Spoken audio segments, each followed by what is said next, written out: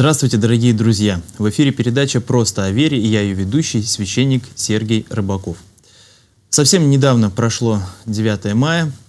Э, мы находимся до сих пор еще э, в праздновании 70-летней годовщины победы Великой Отечественной войны, э, войне. И мы хотели бы сегодня в нашей передаче поговорить об этом, наверное, самом страшном явлении падшей человеческой природы, о феномене войны – Поговорить хотелось бы сегодня именно в культурологическом аспекте, и поэтому сегодня у нас в гостях необычный эксперт, э, профессор, доктор культурологии, заведующий кафедрой теории и истории культуры э, Самарского института культуры Владимир Иванович Ионесов. Здравствуйте, Владимир Иванович. Здравствуйте. А, вот э, действительно то, о чем я уже сказал, вот война, агрессия, э, ее уровень сейчас в современной действительности возрастает.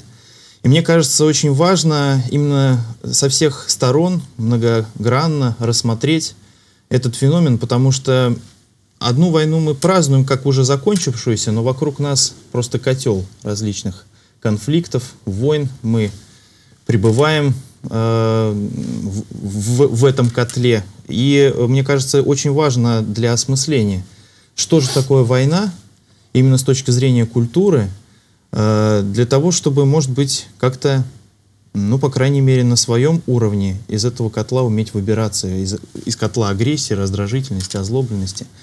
Вот э, с точки зрения культурологии, э, война вообще является феноменом культуры, или это может быть в большей степени феномен антикультуры? Потому что мы знаем, что культура это то, что созидает, а, возделывает, совершенствует и так далее. Война это нечто разрушительное. Отец Сергей, спасибо, что пригласили меня в вашу передачу. Э, действительно, в преддверии 70-й годовщины окончания э, Великой Отечественной войны, тема войны как э, некого э, социального явления для нас э, предстает с особой такой остротой, значимостью. И, наверное, всякий раз мы возвращаемся к тому, для того, чтобы определить для себя, что есть война, почему с войной связаны жертвы, почему человечество пытается преодолеть войну, но все время натыкается на различные э, вспышки насилия, конфликтов, агрессии. Э, действительно, если говорить о человеческой природе, э, война всегда находится рядом. Э, человек во многом конфликтующее существо с точки зрения антропологии, если посмотреть. В человеке война никогда не прекращается, по большому счету. Э, с моей точки зрения, она имеет самые разные, конечно, конфигурации, вот, но э, состояние борьбы, состояние преодоления, эм, вызовы, которые вокруг человека так или иначе эм, формируются, вот это то перманентное состояние нашего бытия, которое э, заставляет нас э, искать какие-то способы укрощения насилия, агрессии. И каждое поколение пытается выстроить какую-то свою стратегию, сценарий того, примирения. Не всегда получается. Вот мы видим, что на протяжении уже 70 лет после даже окончания Великой Отечественной войны количество войн возрастает. И это очень печально и драматично. И поэтому сделаются самые разные прогнозы. Мы видим, что вспышки насилия, они в своих э, масштабах и, может быть, даже в, в, а, в остроте жестокости э, озадачивают человечество и делают абсолютно, может быть, даже непредсказуемым Э, будущее э, человеческой цивилизации. Потому что иногда складывается впечатление, что человечество не извлекает никаких уроков. Но в этой связи э, война, она является частью культуры? Если мы говорим о войне э, как неком социальном явлении, то безусловно. Mm. Война – это культурное явление. Вот, потому что у войны есть своя культурная стилистика, атрибутика, своя форма узнаваемости. Когда мы говорим «началась война», мы предполагаем определенные узнаваемые э, ну, симптомы того, что э, скрывается за этим явлением. Угу. Поэтому, конечно, война э, культурное явление. Поэтому мы должны рассматривать э, войну не как э, только чисто э, ну, некая вспышка биологического насилия, там, угу. агрессии, а часто сама культура провоцирует войны. И здесь, э, конечно, и э, вина, в том числе и на культуре. Потому что мы говорим, есть культура э, войны, а есть культура мира. Угу. И вот противостояние этих двух культур как раз, наверное, и создает весь шум цивилизации, всей нашей жизни, который нас сопровождает. Так может быть вся проблема вот э, такого большого количества войн и сейчас в том числе, что у нас нету культуры мира? Э, вы важный вопрос сейчас здесь затронули, потому что действительно, как э, можно приостановить э, наступление насилия и агрессии в обществе? Э, у человека, у человечества нет другого инструмента, кроме культуры. Угу. И поэтому, когда мы говорим о культуре войны, культура войны пользуется, как ни странно, тем же инструментарием, которым пользуется культура мира. И если культура войны продвигает свои какие-то интересы и захватывает какие-то территории, то, э, значит, э, территории мира в этот момент, они сокращаются. Потому что все, что война приобретает, взято в том числе с территории мира. Э, ну, нет других инструментариев, нет третьего. Понимаете, вот есть культура. Культурные ресурсы ограничены. И вот борьба за эти ресурсы, борьба за различные культурные практики во многом порождает всякого рода конфликты, которые в конечном счете оборачиваются вооруженным э, конфликтом или то, что мы называем войной. Вот э, вы сейчас говорите, а у меня строчка из одной из последних песен Бориса Гребенщикова всплыла. Э, Господь в своей доброте дарует то, что мы хотели, любовь обязательно во время войны. Вот почему действительно э, для того, чтобы, например, вот если мы берем современную войну сейчас на Украине, для того, чтобы пережить э, чувство локтя, для того, чтобы пережить, э, ну вот, вспомнить о том, что мы братские народы, нам действительно нужна была вот такая вот война, вот такой вот конфликт, чтобы мы все вспомнили, что мы братья-славяне, чтобы здесь вот в России был невероятный патриотический подъем, чтобы там, ну, по крайней мере, на юго-востоке произошел такой же патриотический подъем, что вот они прям так радуются, когда э, российские миротворцы так или иначе проявляют свою заботу и себя вообще, в принципе, в их э, истории. Вот почему человечеству с точки зрения культуры всегда нужна война, чтобы как некая бинарная позиция – да, являлась любовь. Почему невозможно иначе? Ну, тут, скорее всего, может быть, э, ваш опыт и э, помогут ответить. Как вам кажется? Э, действительно, противостоять культуре войны может культура мира, любви, красоты. И вот когда мы говорим о том, что эм, в самых критических, тяжелых ситуациях человеку как никогда нужна опора в вере, в красоте, в самых лучших образцах миротворчества. Это не случайно. Потому что вот критической ситуации, вот как Достоевский говорил, что красота, в красоте человек нуждается больше всего тогда, когда ему плохо. Угу. Это очень важные слова. Действительно, мы начинаем ценить добро, обращаемся к добру, э, начинаем ценить любовь и красоту, когда мы практически любовь, красоту и добро начинаем терять.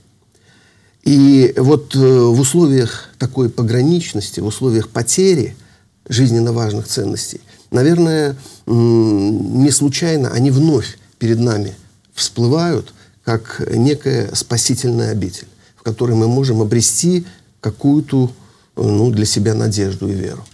Поэтому э, вот культура, она э, часто бросает человека на испытание, в том числе и в горнило войны, но всегда дает надежду. Надежду, которая опять обретает силу культуры. Потому что вырваться из вот этих испытаний опять можно только опираясь на культуру. Э, и поэтому вот как-то Эйнштейн спросил Фрейда, говорит, слушайте, вот есть инстинкт, инстинкт смерти, инстинкт э, жизни. Э, как же в условиях, 30, как раз, по-моему, в 1932 году, как раз накануне прихода нацистов к власти. И говорит, вот как же быть, как укротить э, войну, агрессию, насилие в человеке и дать э, дорогу миру, любви, красоте. Э, Фрейд э, э, ответил примерно так, что нужно развивать культуру эроса, любви, красоты и как противостояние войны. Здесь возникают всегда вопросы, а как в условиях войны, в условиях конфронтации культивировать любовь и насилие, когда все озлоблены? Угу. Это можно сделать, когда общество сплоченное, угу. собранное, согласованы. И вот на этот вопрос пока ответа нет. Потому что когда, с одной стороны, потребность в красоте, добре возникает, когда человеку плохо, но когда человеку плохо, ему очень трудно собраться и согласованно принять какое-то решение. Слишком много обид, слишком много отчаяния, слишком много мести. И вот в связи с этим возникает как бы все время такой порочный круг. Как только что-то у нас получается, вдруг опять обрывается – и мы начинаем все сначала. Некая такая ловушка или сизифов труд. Но... Интересно. А вот та такой вопрос. Мы говорим вообще о войне, как правило, в контексте взрослого мира, культуры взрослого мира. Ну, то есть воюют в основном взрослые. Ну, по крайней мере, мы так, нам принято думать, считать, что это вот взрослые мужчины, кто-то жадный лезет на чью-то чужую территорию, кто-то слабый не может этому противостоять, начинаются вот конфликты и так далее. И в этой связи как раз то, о чем мы сейчас с вами поговорили, это, конечно, и актуально, и, ну, в общем-то, в контекст ложится. Но вот удивительно то, что э, в войну начинают играть маленькие дети, мальчишки во дворе, э, достаточно рано, их этому никто не учит. Я вот помню по себе, когда еще вот э, в моем детстве не было так развито телевидение, когда показывалось все и всюду и так далее, можно было любой канал включить. Мы все равно бегали с автоматами, мы все равно бегали с пистолетами, играли в так называемую войнушку. Вот. И почему-то это стало атрибутом мужского мира. Вот почему для мужчины, во-первых, во-вторых, откуда война берется в детском мире, вот, э, вы как культуролог поясните, пожалуйста. Может быть, надо вообще копать именно оттуда, как вот в Евангелии сказано, э, будьте как дети. Да? Если не будете подобны детям, не войдете в Царствие Божие. Значит, нам, может быть, надо вот с самого детства как-то вот копать. Вот откуда, почему в культуре детства вдруг появляется война? Ну, э, здесь сразу несколько вопросов э, вы затронули. Угу. Э, во-первых, действительно, детство играет ключевую роль в развитии личности. Это, в общем-то, э, доказано уже многократно. И обращение к детству в значительной мере может помочь решить многие вопросы уже той взрослой большой жизни, э, с которой человек сталкивается. И э, поэтому не до завершенное детство, угу. травмированное детство значительно, ну, очень часто приводит к вспышкам э, каких-то конфликтов, насилия, э, стрессов и так далее. А, поэтому это первая сторона, что действительно в, к детству нужно обращать пристальное внимание и культивировать различные миротворческие практики – Э, может быть в игровой форме, может быть в какой-то художественной, э, такой эстетической. Э, здесь много существует различных сценариев, которые позволили бы вот именно в детстве сформировать некое такое миротворческое видение мира. А другой момент, который вы затронули, это то, что почему дети играют в войнушки и так далее. Э, ну, в общем, как я уже сказал, э, в человеке идет борьба постоянно между войной и миром, между жизнью и смертью, между добром и злом. И ребенок э, не является исключением. Он как раз может быть в такой наивной форме, проецирует вот все те эм, задатки, которые и со знаком плюс, и со знаком минус. Внутренние так или процессы иначе. таким образом, да? Конечно. Во-вторых, эм, в некоторые теоретики, психологи, социологи считают, что э, вот э, есть некая врожденная такая склонность к насилию, конфликту у человека. Здесь есть разные точки зрения. Есть кто с этим согласен, кто нет. Но эта точка зрения достаточно широко распространена, и поэтому искоренить это в принципе невозможно. Можно только это нивелировать, можно только это с помощью различных культурно-миротворческих практик каким-то образом э, нейтрализовать. Нейтрализовать для того, чтобы открыть или сублимировать в какие-то новые э, практики, связанные с э, гуманистической деятельностью. Но э, искоренить это невозможно. То есть надо принять, что это э, нечто данное, с которым нужно уметь работать. Э, поэтому, э, скажем, отсюда и войнушки, и всякие вспышки обид, агрессии, э, нетерпимости, э, которые тоже в детстве сопровождаются, когда э, школьники могут издеваться над э, каким-то э, своим одноклассником. К примеру, таких историй очень много. Вот выбирается какая-то жертва. И вот вся, все насилие, и в основном на самого беззащитного попадают все эти всплески насилия. Вот. Ну и, наконец, третий аспект, который вы затронули, каждый из них, конечно, нуждается в самостоятельном таком разговоре. Почему мужчина? Почему мужчина? Вот.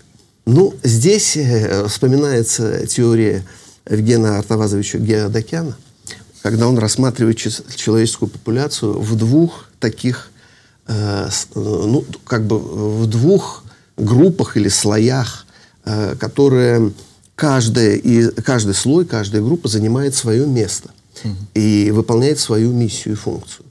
И вот с точки зрения э, Евгена Геодокяна, э, ядром человеческой популяции является женская половина. А внешний слой образует мужская. Она принимает на себя все вызовы внешней среды пропускает через себя все эти вызовы, фильтрует и уже все самое ценное, опробированное и лучшее передает женской половине. Потому что женская половина, она в этом смысле более значима для продолжения рода. Она отвечает э, за э, вот э, уже судьбу, по сути, воспроизводства человечества. И поэтому в этом плане вот вызовы все берет на себя мужская половина. И поэтому она находится всегда в эпицентре различных противостояний. А война — это всегда встреча самым таким, может быть, передним, самым крайним флангом вот этого противостояния человека с миром. Потому что э, война э, с точки зрения культурологии это необычайно интересный синдром с точки зрения рассмотрения mm-hmm. различных э, факторов, которые вдруг начинают проявляться в человеке. Вот. Как со знаком плюс, так и со знаком минус. И то, что в обычной жизни мы не замечаем, вдруг на войне как раз это раскрывается. И мы видим и величие человека именно в периоды войны, когда человек готов совершить подвиг когда идет на риск и жертвует собой ради своих близких. А, и чудовищные акты насилия. Также нам война показывает. И поэтому здесь вот, наверное, может быть такая, mm-hmm. такое объяснение. Почему мужчины? Потому что они принимают вызовы на себя, и э, только э, исходя из этого, наверное, э, война все равно мужчинами начинается и мужчинами все равно заканчивается. А у нас не так много времени осталось до конца эфира. Э, хотелось бы вот резюмировать в общем и целом. Э, мы как будто бы вроде бы внешне живем на территории мира сейчас. Ну, потому что у нас в стране не ведется локальных войн никаких. Слава богу. Вот. Однако, вот как культуролог, вы замечаете уровень агрессии вообще возрастает в обществе? Нетерпимости, может быть, вот, как, вот какой-то разобщенности? Что э, глаз культуролога Владимира Ивановича видит, когда он выходит на улицу? Или... Э, ну, я, к сожалению, должен констатировать, что вот если объем насилия в обществе, э, он э, не сокращается. А может быть, даже он просто какая-то существует здесь социальная мимикрия этого насилия. Мы иногда уже свыкаемся с некоторыми ситуациями, которые для нас являются само собой разумеющимся для нашей жизни, но не переставая быть насилием при этом. Угу. Вот в этом опасность, что насилие становится трудно распознаваемым. Угу. Маскировка идет насилия. И часто, э, в общем-то, это становится частью нашей обычной жизни.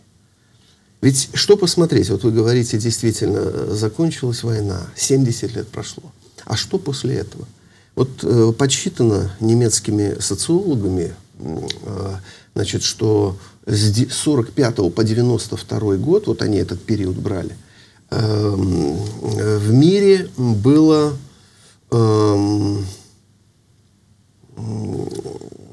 так, чтобы точно мне сказать, э, в мире э, ну, более сотен различных конфликтов.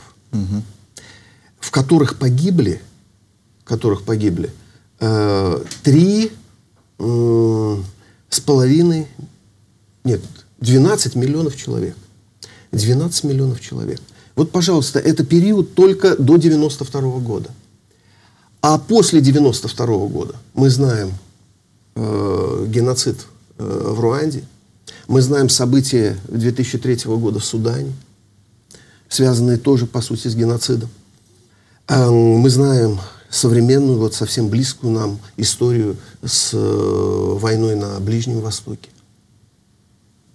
И вот если все это суммировать, мы видим, что насилие своей территории не сдает, а наращивает. Другое дело, что оно приобретает иные формы. Mm-hmm. Появляются такие виды э, войн, как молекулярная война даже обозначают, да?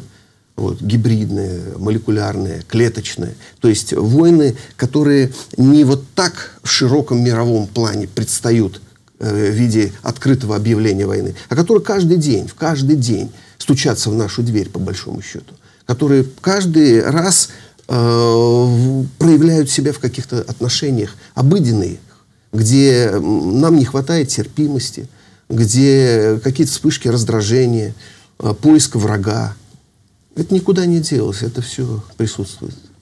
Что ж, спасибо, Владимир Иванович. Время нашего эфира подходит к концу. А, вот так достаточно интересно мы сегодня рассмотрели, хотя и кратко, конечно, феномен войны в культуре э, и культуру войны как таковую. Э, и что, что главное, наверное, главный вывод из сегодняшней передачи, не знаю, уловили вы, дорогие телезрители, или нет – а, ну вот эта идея, которая сквозила, идея апостола Павла, ничего не меняется с тех самых пор, с того самого времени. Он говорит так, я чувствую, что во мне живет как бы два человека. Чего хорошего не хочу, чего хорошего хочу, того не делаю. Чего плохого не хочу, то делаю постоянно. Вот это внутренний, э, внутриличностный конфликт очень часто и выражается в конфликте внешнем, в войне, в ссорах, в распрях. Поэтому самое главное, что нам нужно стремиться делать, это расширять границы территории мира. Спасибо вам за внимание. До скорых встреч.